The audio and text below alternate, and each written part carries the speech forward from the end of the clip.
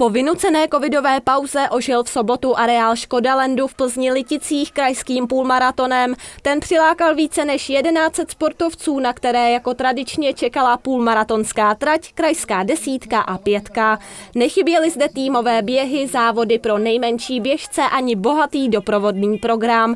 Na technicky náročnou půlmaratonskou trať vyrazilo zhruba 500 běžců. Titul nejlepší běžec plzeňského kraje si odnesl Jan Schneberger a z žen pak Blanka Šindelářová.